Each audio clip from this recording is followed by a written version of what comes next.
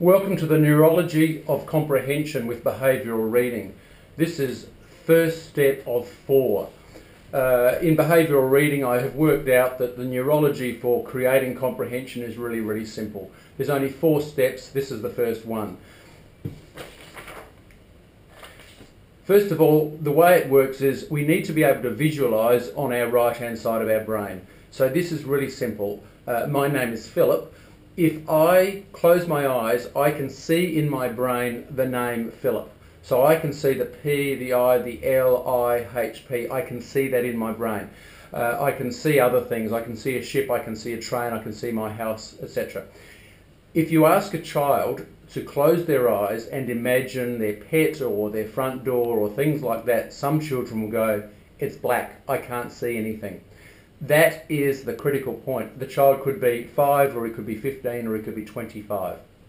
We must be able to visualize because comprehension is about creating a movie in our head while we read. We read and we are making a movie that we can see at the simple level. So, how do we create visualization if it isn't in a child? It is very, very simple. I find the most effective way to do it is have the child stand, imagine they are standing by their front door, uh, by their bedroom door. I apologise. I'm standing by my bedroom door and get them to close their eyes and imagine that they are looking into their bedroom. And say, point to your bed.